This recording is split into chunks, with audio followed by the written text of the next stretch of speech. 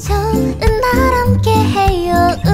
우리가 만난 시간이 너무나 소중하죠. 함께해요. 어쿠스틱 갤러리